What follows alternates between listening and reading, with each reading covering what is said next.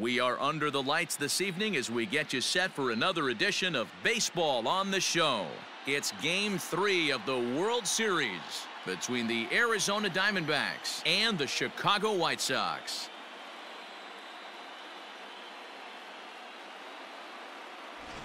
Hi again, everybody. Matt Vasgersian. Welcome to the World Series here on the show. With me is Mark DeRosa and Dan Plesac. And Dan, lots to talk about here as we get ready for Game 3.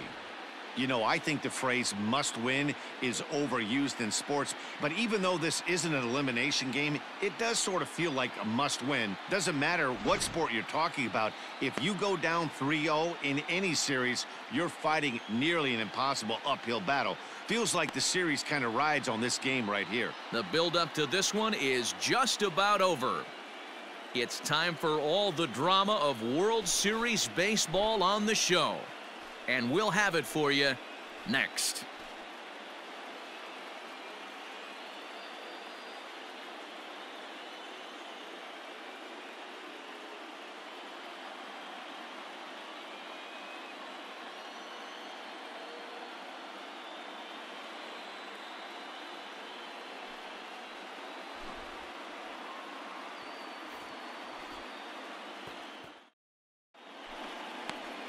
Ronald Bolaños will do the pitching in game three of the series. Dan, any thoughts? Hey, this guy has really good stuff, and he's commanding his off-speed pitches like he was in his last one. He threw the ball really well, picking up the win and allowing only two runs. If he brings that stuff back in this one, it could be back-to-back -back powerhouse performances. All right, guys, here's a defensive alignment for the Chicago White Sox.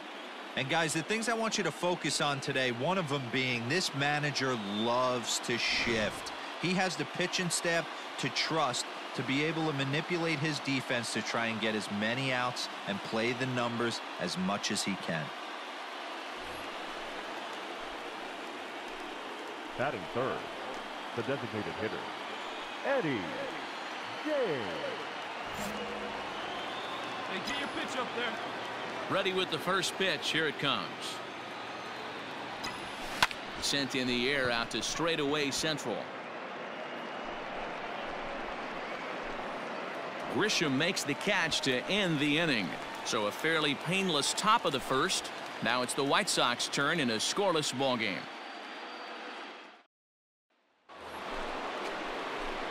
Next will be the designated hitter, Eddie James. He's 0 for 1 thus far. Eddie James. The pitch. Hard liner to center field. And that finds some outfield grass. It's a base hit. Hey, this guy's having a big series in the postseason. It looks like to me that the moment isn't too big for him. He's slowing the game down. He looks terrific. Yeah, absolutely. Postseason monster right here. Having a huge series. Any big leaguer can have their moment mid-May, but to do it when it gets cold outside means everything. He's running. Little chopper back to the mound. Oh, and it eats him up a bit. Hey, hit and run right there. I know the guy had to pull up on second base because the ball didn't get to the outfield, but you know what? You'll take the knock first and second, regroup. Let's see what happens. Striding in, now Jeffrey Ramos comes into this at bat 0 for 1 in the ball game. Now the double steal is on here. A swing and he pops him up on the infield, and the infield fly rule will be in effect here. Throw back to second, and that's a double play.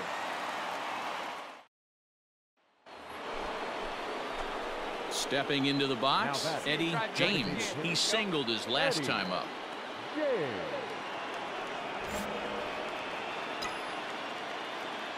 First delivery to him on the way.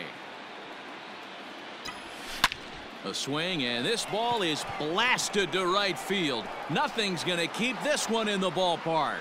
And this ball is gone. No chance to make a play on that one.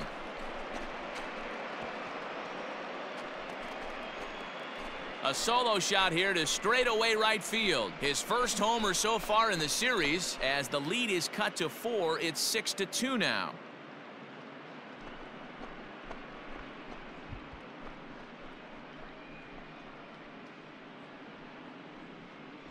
Yeah, they have everything to lose in this game, but it's obvious they have zero quitting them.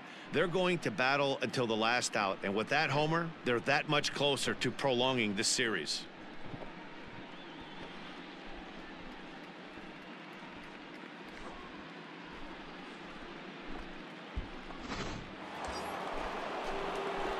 So right stepping here. in, Eddie James. He'll swing it from the left Eddie, side right here. go. Yeah, man, this guy flexed his muscles in that last at bat. We heard Come that he now, has good fella. power. That last bomb had to go well over 400 feet. He hit it a long way. A swing and a drive sent out toward the gap. Back goes Grisham to the track, to the wall. Gone! A two-run shot that gives them the lead. So it's a two-run shot to right center, his second of the game, and it's now an 8-6 ball game.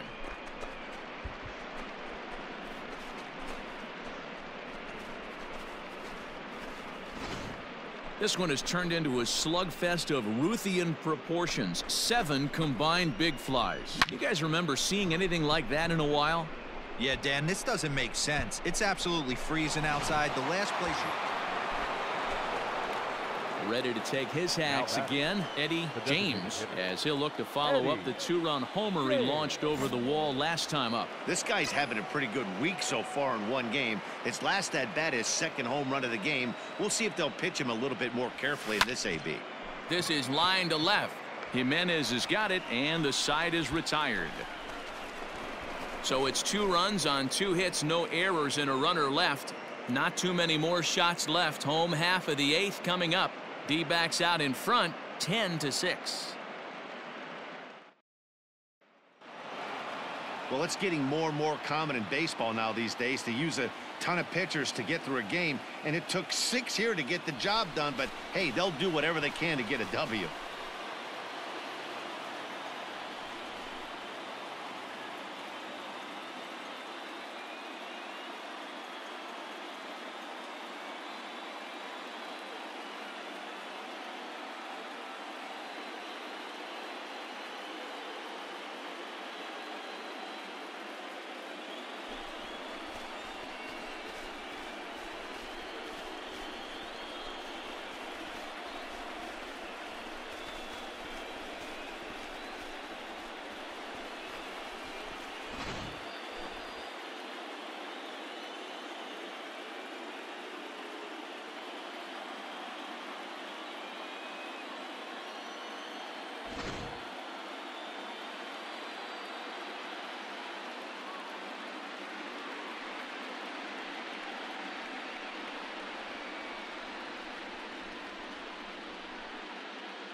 So the lineup really helped carry them to victory here in this one, and this man was a big reason why. He's our tops player of the game.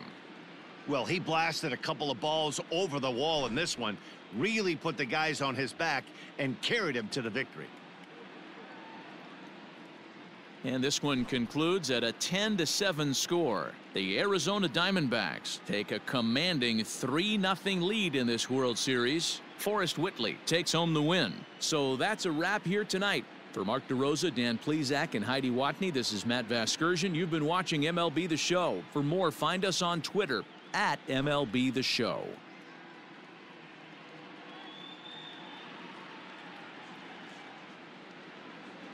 The final line score for the ball game tonight. First for the victorious Diamondbacks, 10 runs on 16 hits. One error, they left eight runners on base. For the White Sox, seven runs, to 11 hits.